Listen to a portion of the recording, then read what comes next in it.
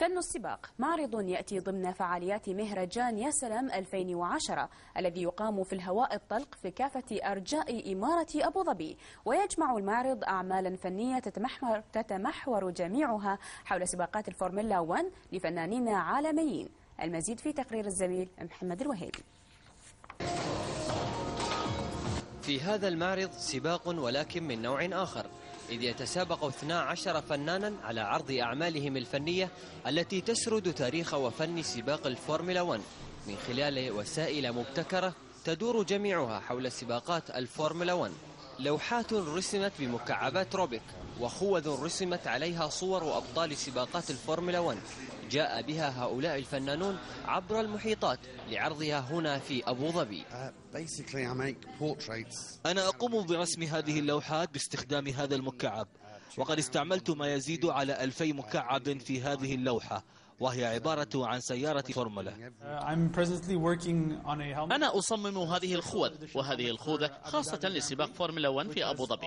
وتحمل صورا قمت برسمها لأبطال هذا الموسم في سباقات فورمولا 1 الفنانون المشاركون في المعرض استخدم كل واحد منهم تجاربه الشخصية ومهاراته الفنية ليخلق طريقة استثنائية ومبتكرة ليجسد من خلالها هذه الرياضة التي تنطوي على سرعة كبيرة جدا.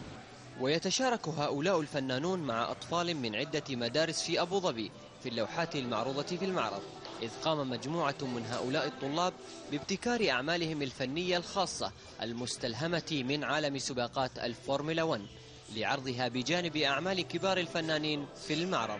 والله الفنانين هالسنة آه، هم يعتبرون من أفضل فنانين آه، فن الفورمولا 1 يعني من مختلف أنحاء العالم. فبتلاحظون حتى من يعني الأساليب اللي مستخدمينها آه، أساليب شوية مختلفة عن عن الفن العادي يعني اللي مستخدم ال Rubik's Cube عشان يرسم أو فوق مثلا قاعدين يرسمون بسيارات ال remote control في بعد فنان هني اللي متميز متميز بأنه يرسم على آه، خوذ السباق نفسه يعني.